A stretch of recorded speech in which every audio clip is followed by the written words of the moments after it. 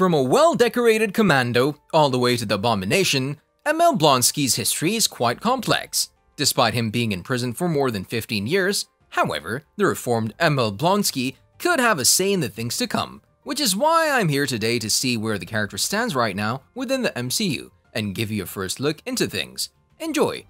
First appearing in Tales to Astonish in 1967, Emil Blonsky or Abomination was created by Stan Lee and Gil Kane, where he was a Yugoslavian spy who infiltrated Bruce Banner's lab where he was conducting his gamma radiation experiments.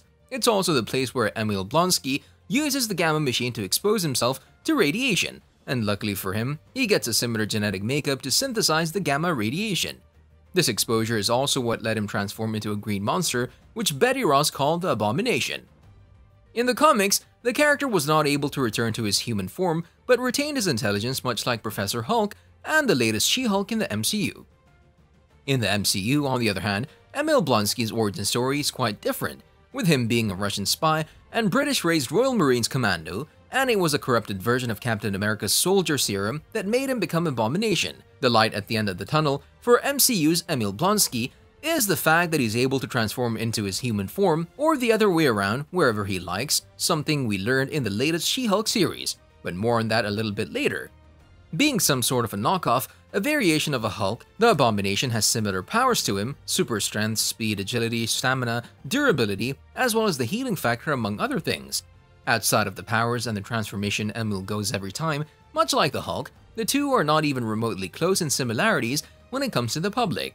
Because while Smart Hulk was praised as the hero that saved the world after restoring half the universe with a snap, Abomination was locked away.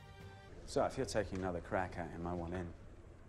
And with respect, you should be looking for a team that's prepped and ready to fight. The character is the first one to jump over to the MCU after Hulk, because as you might recall the 2008's The Incredible Hulk was never within the MCU. Thus, the Abomination has surely been kept for something big, right? Or at least that's how the notion at Marvel Studios goes. If you're still within the MCU, or coming back to it after a long period of time, then you're in for a treat as something big awaits for you, which seems to be the case for yet another character from 2008's Hulk movie.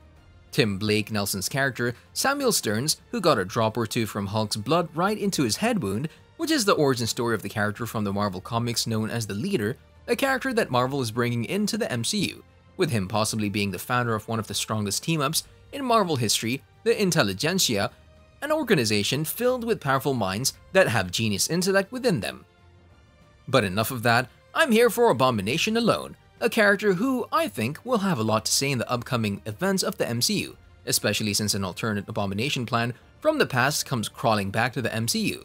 But before I do that, make sure to hit the like button if you haven't done it so already. And with that out of the way, let's continue. And I almost forgot, as a side note, there will be spoilers up ahead from the latest She-Hulk series, Beware, and if you haven't watched the series yet, make sure to do so as soon as possible, as it's one of the best TV shows of 2022. And without further ado, let's dive right in. As I said before, Emil Blonsky's Abomination made the jump to the MCU when he was seen fighting Wong in an illegal tournament in Macau.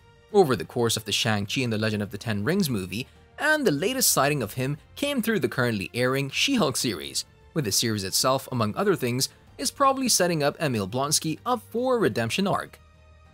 He has made peace with his victims including Bruce Banner and is ready to rejoin society after so many years in custody, first in a prison made by S.H.I.E.L.D., and after the collapse of the agency in 2014, transported in the custody of the Department of Damage Control as we came to learn. Not everyone is as sure as Jennifer Walters that if he gets released, he'll not go back to his old ways. The fans are suggesting that his release will probably add him to the Thunderbolts team that is coming to the MCU, a connection that he already has in the Marvel Comics, and a place where he can start to make his own legacy within the wider MCU. Much like many other characters so far, his return for the role in the She-Hulk series was not smooth either, or at least that's what Tim Roth thought when Marvel approached him for the role. According to him, was an offer that he could not refuse. Roth described the experience as a difficult one at first, only before Mark Ruffalo came to shoot a scene where Tim was and say how things were done in today's world.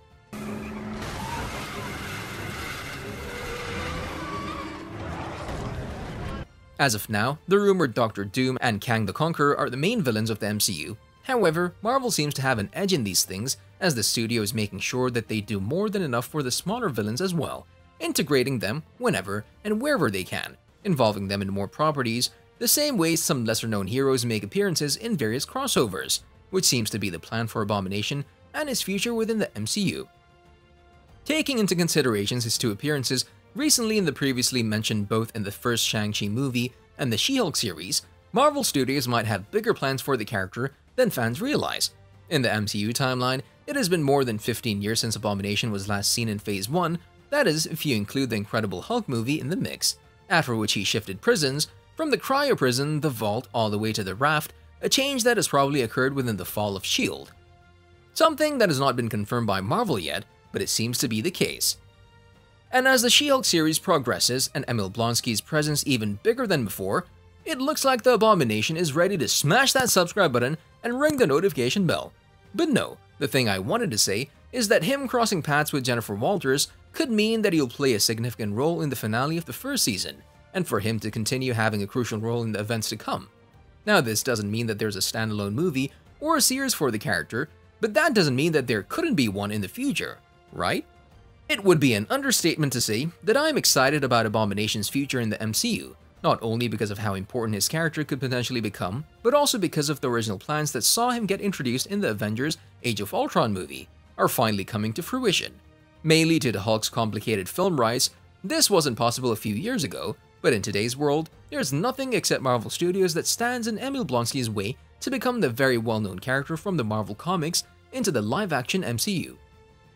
Whether Abomination will appear in further Marvel projects or not remains a mystery, but there are some questions about how Wong interacts with the hulking monster, something that made me think, is Wong actually Emil Blonsky's therapist in some way, the one that actually reformed him to become a better person, or is everything just an act from Emil's side? The two have made some kind of camaraderie rather than being enemies. Thus, following from Phase 1 and the plan for the Abomination to be brought back as an Avenger could hint that there's a high chance of him possibly becoming part of the next iteration of the Earth's mightiest heroes in the near future. Or on the other hand, for him to get recruited by Contessa Valentina Allegra de Fontaine to join the newest team on the horizon at MCU, the Thunderbolts. Either way, all I wanted to say is the fact that Abomination is on the verge of a major comeback after sitting out both Phase 2 and Phase 3 of the MCU. See you in the next video.